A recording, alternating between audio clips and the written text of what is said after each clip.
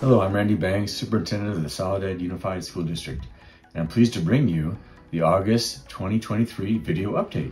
We had another successful return to school on Wednesday, August 9th, when we welcomed our students to another great year. It was wonderful to see all those smiling faces in our buildings again. Our entire team has been working hard to ensure a safe and smooth year ahead. In early August, we welcomed our newest staff members at new hire orientation and returning staff members participated in professional development as well. As you come into our schools, you'll find we've made some upgrades too. At Soledad High School, we have a new certified nurse assistant classroom to better serve our students in the health occupations pathway. Additionally, sunshades have been installed in nearly all Soledad school campuses.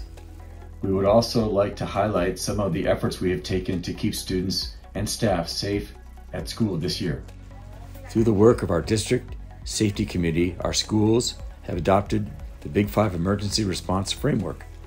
All staff are being trained in evacuation, shelter in place, secure campus, lockdown and barricade, and duck and cover and hold on.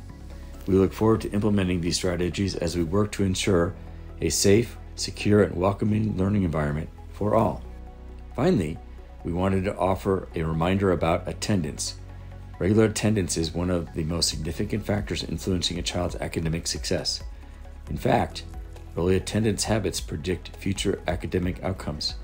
Students who are chronically absent, missing as few as just two days a month, are more likely to fall behind their peers in reading and math proficiency in the early grades.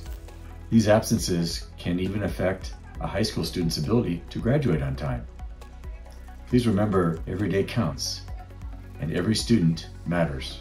Welcome back. We're so happy to have you join us for another exciting year of growth and learning.